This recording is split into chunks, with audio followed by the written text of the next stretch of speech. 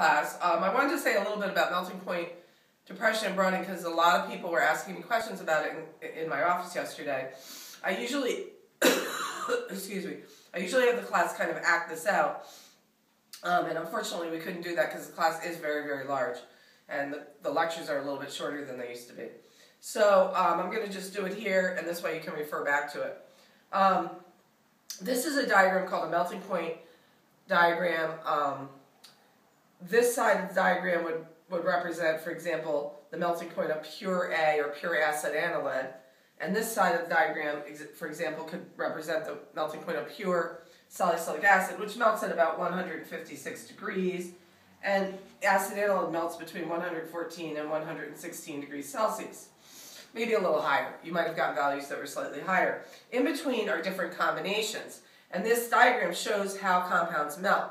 Now basically, what the curve represents is the lower part of the curve is where melting begins. So for example, if I had this material right here and it was, um, uh, for example, 90, uh, 10, it was 90% acetanilide and 10% salicylic acid, the sample would start to melt around here. This is the beginning of melting, and that's where you would observe it. And by the way, the observation of melting is actually very difficult, as you have discovered. And it would finish melting up here, which would be somewhat below A. Some people said my curve bumped up a little bit. That's just like a an error with the program I was using. Um, it should go down, continuously down. And as I've said to many of you, the only thing I really look at is the upper end of melting. I don't really pay much attention to what you guys report as the beginning of melting. Now, um, so there's a couple points on here that are important. The first point is this point, which as you've probably read in your lab book, that's what's called the eutectic point. And the eutectic point corresponds to a eutectic composition. And what a eutectic, a eutectic um, point or eutectic sample um, or eutectic mixture, that's what they're really called. Again, it, ha it has a point in the diagram, which is kind of interesting because it has a sharp melting point. And it has a particular melting point uh, associated with, with it, which is called the eutectic melting point, and then it has a eutectic composition. Now, what is this composition?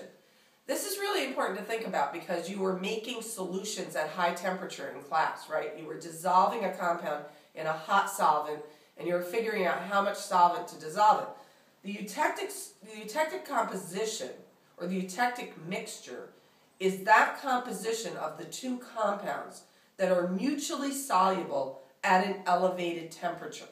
Okay, so at, you have to think of these, even though these are solids at room temperature, that they could form a solution if the temperature was high enough and if you had the right composition.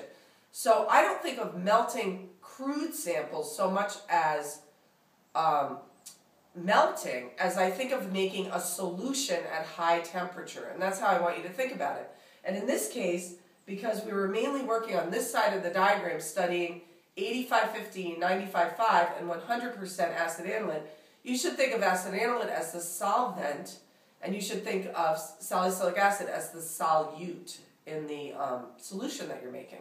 So there's a certain combination of the two that mutually dissolve, and they kind of dissolve perfectly in each other. Um, beyond that, if you have any more of one, of one or the other, you will exceed saturation of that solution, and that material will be left out of the solution. So it's very much like if you hadn't added enough water to your acid salicylic acid solutions in class, where some of it wouldn't go in.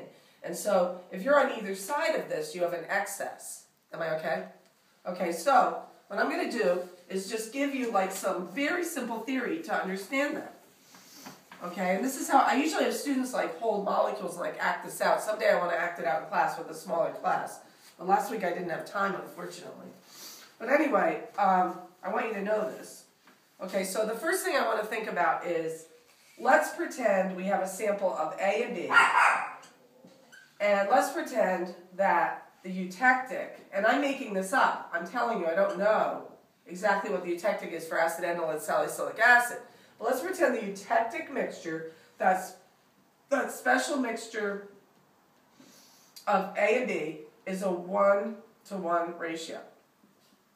In other words, it just takes 1A to sweep 1B into solution because they have good interactions with each other at the elevated temperature. But remember, these are solids when they're pure, okay?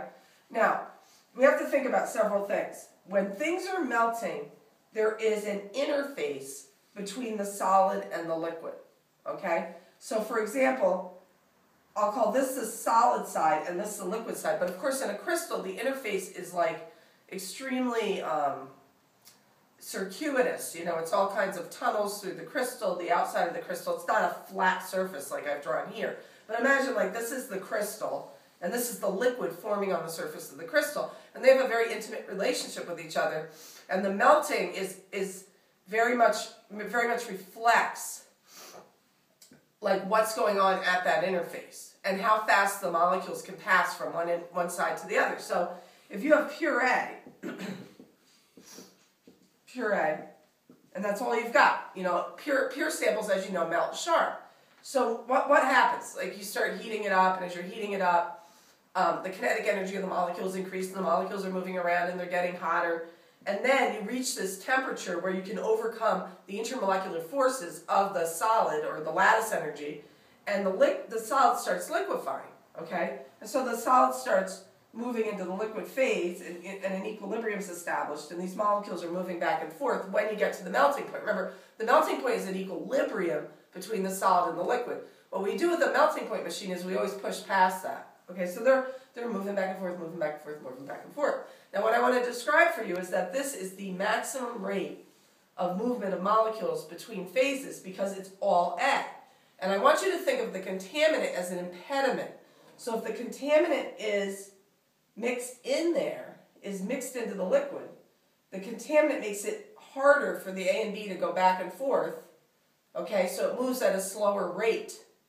Slower rate of movement in an equilibrium requires a lower temperature. That's called melting point depression. Okay, but when you have a pure solid, the rate of movement is at its maximum because there's no impediments caused by foreign molecules in the solution. Now, in your lab manual, I do talk about how the crystal lattice is weakened by those molecules, and that lowers the melting point. But the melting point is continuously depressed, and you have to explain that depression in terms of the rate of the movement, okay? So again, no impediments. All right, so supposing I have another solid, so this is the sharp melting point. It just goes up, hits the melting point, it melts. It's a high rate of exchange because there's no impediments so it has the highest possible melting point, which would be 114 to 116 for acetanilide. Now, supposing I've got contaminants in there, and I do this with numbers so people will understand. Now, of course, you can never really work with this ridiculously small number of molecules. But supposing I have A, B, and you know my my my my solid here is ridiculously organized, and then then let's say there's more A's on the solid side. There's all these extra A's. So I've created this solid, and I want to melt this solid. Okay? Now here's the deal. The first thing you would say is you'd say, oh my goodness, that remember, this is the interface. It hasn't started liquefying yet. So again, you take this crude solid and it just, you know, starts getting, your kinetic energy starts going up. But then you would say, oh, the lattice energy is lower because of the presence of these B molecules in the A because they have a different shape and they have different, different interactions. They're kind of going to disrupt the local molecules around it, and then those molecules are all kind of rocked and the whole crystal has like a lower energy. Now, so it's going to start melting at a lower temperature. Now, what, how does it melt? You have to realize all contaminated samples melt at the eutectic temperature. So whatever that eutectic temperature is, and I can tell you for your samples that you ran, it's probably like 79 or 80. Um, there's a temperature where you just start making this solution, this kind of special solution where they dissolve in each other. Don't think of it as melting. So it's like you've made it hot enough to start making a solution. And we have defined the solution here just for convenience sake as one-to-one ratio of A to B. All right, so it starts getting hot. You've gotten to the temperature where these two can dissolve in each other and make a solution, but the solution can only hold one of each molecule or a 50-50 ratio. So what's going to happen here when I hit 80 degrees or that eutectic point? And again, all contaminated samples start this way. So what will happen is right? And I always have students kind of like dance their way across the room doing this. And it's, it's pretty effective usually, or at least I think it's effective. I don't know if the students think it's effective. But what would happen is whatever amount of A and B you had at that eutectic temperature would liquefy, right? And it would form this solution. But unfortunately, I'll, maybe I'll add an extra A here. Unfortunately, there's leftover A over here. There's A that can't, it doesn't have B to dissolve. Now this is just at the eutectic temperature. So you're hovering at this low temperature and this liquid forms, but it looks like slush. And the reason it looks like slush is there's this leftover A over here, right? So let's look at the ratio. So in the liquid, we have, we at the eutectic, this is at the eutectic, temp. And this again is for all contaminated solutions. Like people can't grasp that sometimes, all of them. Not just the eutectic mixture, all solutions initially form the eutectic mixture, which I think is fascinating. So the eutectic comp, uh, the, the eutectic uh, temp, right, what's going to happen with my little mini, my, my little molecule situation here, which is not realistic because you really melt millions of molecules, right? You can't work with this many molecules. How many do I have? One, two, five, six, seven, eight, nine, ten. I have ten molecules, right? So I'm saying, what, this is the deal. In the liquid, we have the eutectic mixture because we're at the eutectic temperature. So what I have are three A's to three B's. That's what I've got. That's the eutectic mixture. Now you might say, well, do you really have that? Well, at the temperature, they're kind of going back and forth, but when you raise the temperature past that, that's what you've got. Okay? Now, realize these B's create an impediment to A moving back into the solid. That's called deposition. So the A does not depose back in the equilibrium as fast as it would if it were pure. Okay? So that means the rate of exchange is lower. It's very low. The eutectic has the lowest rate of exchange. So these A's are moving back and forth, but they're moving back much slower because you can think of these B's as almost like getting in the way. Okay, and I have a little joke I usually make about that, but I'm not going to make the joke because I don't have time. So they're moving back.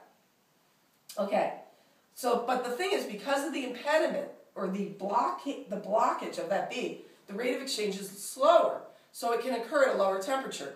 And that's probably a really good way to explain melting point depression. Okay, that the contaminant molecule slows down the rate of exchange of the major molecule such that you don't need as much heat to maintain that equilibrium, because that's all you're trying to do is maintain equilibrium. But here's your problem, right? So you're hanging at the eutectic temperature at this low rate of exchange at this low temperature, but you still have A in the solid state, and you're trying to melt the sample. So the A's have to move over here, right? So think about this. Supposing I just push one A over here. Think about that. What happens to my ratio here? My ratio goes from 4 A's to 3 B's. Now again, these really represent millions of molecules. So what this means is that I've increased the ratio in the liquid melt.